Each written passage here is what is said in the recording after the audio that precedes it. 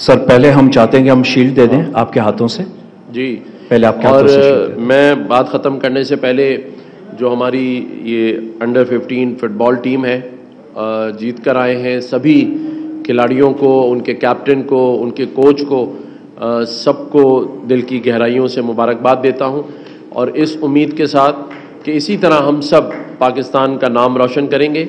और बहसीत governor Sindh sports के हवाले से जहाँ जहाँ मेरी आपको ज़रूरत पड़ेगी, मेरी खदमात की ज़रूरत पड़ेगी, मैं हर लिहाज से फाइनेंशियल सपोर्ट भी और वैसे भी हर किस्म के सपोर्ट के लिए मेरे दरवाजे खुले हुए हैं और इन ताला हम इसी तरह स्पोर्ट्स को जिस तरह हम तालीम पर काम कर रहे हैं आईटी पे काम कर रहे हैं, आज अल्हम्दुलिल्लाह गवर्नर हाउस में पचास हज़ार बच्चे आईटी के एडवांस कोर्सेज कर रहे हैं छः महीने हो चुके हैं।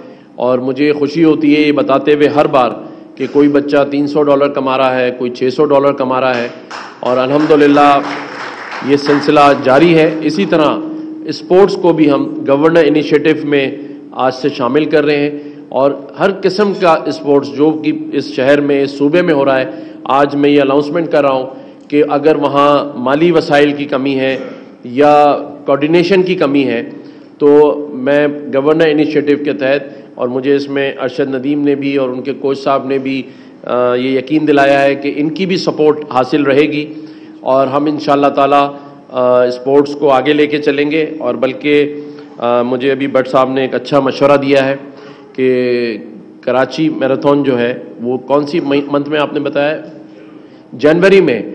मैं आज अनाउंस कर रहा हूँ, जनवरी में हम कराची मैराथन का ऐलान कर रहे हैं और उसमें सभी लोगों को मौका मिलेगा और मैं समझता हूँ कि इससे बड़ा इवेंट पूरे पाकिस्तान में कभी नहीं हुआ होगा इंशाल्लाह। हम जनवरी की डेट देंगे और उसमें रखेंगे इंशाल्लाह थैंक यू सर मैं रिक्वेस्ट करूँगा ऑनरेबल गवर्नर सिंह से कि बराए मेहरबानी सर आपके हाथों से अच्छा जी जाएँगी। यहाँ पर रेहान चावला साहब जो कि हमारे एक्सपोर्टर हैं और फरहान हनीफ साहब जो हमारे क्राउन बाइक के ऑनर हैं और हमेशा ये जितने हमारे जो अभी तक हम जितनी हज़ार बाइक्स दे चुके हैं जिनकी एफआईआर आती है चोरी हो जाती है फरहान हनीफ साहब हमें बड़ा उसमें सपोर्ट करते हैं और 14 अगस्त के प्रोग्राम में भी फरहान हनीफ साहब चावला साहब अरशद वली मोहम्मद साहब और बाकी भी हमारे दोस्त हैं इरफान वाहिद साहब यहाँ नहीं आए इन्हीं सबने हमें सपोर्ट किया तो हमने इतना बड़ा प्रोग्राम रखा और अ, अल्हम्दुलिल्लाह जिसकी चर्चे सिर्फ़ पाकिस्तान में ही नहीं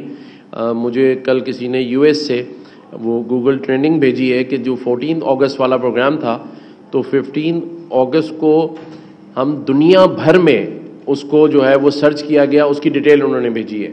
तो मैं समझता हूँ कि ये जो हमने 14 अगस्त को यहाँ प्रोग्राम रखा था जिसमें अरशद नदीम ने शिरकत की और उस वजह से पूरे पाकिस्तान में लोगों ने उस प्रोग्राम को देखा सर्च किया और अभी मुझे बताया गया कि दोनों भाइयों की तरफ़ से फुटबॉल टीम के लिए एक एक लाख रुपए कैश पर प्लेयर मोटर बाइक नहीं दे रहे था?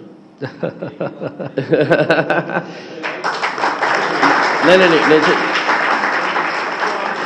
नहीं, आपने एक एक लाख रुपए हर बच्चे के लिए किया। ओ, फिर तो सही है, फिर तो बाइक थोड़ी सस्ती होगी। तो आपके लिए एक एक.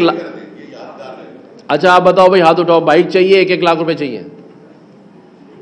हैं?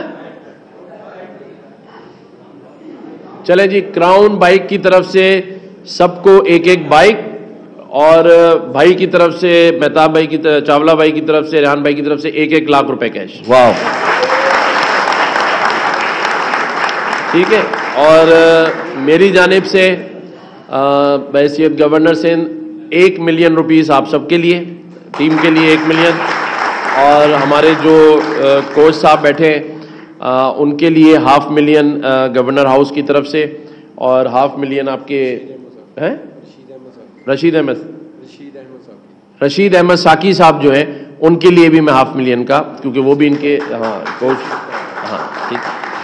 सर अब आपके हाथों से शील्ड दी जाएँगी। जी।